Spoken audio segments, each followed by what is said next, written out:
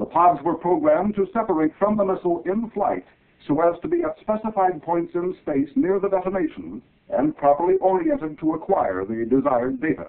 P-2V aircraft, together with destroyers, provided the security and safety surveillance of the extensive danger area surrounding the theater of operations.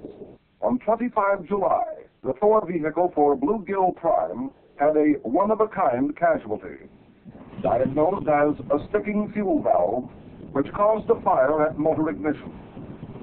Both missile and warhead burned on the launching pad.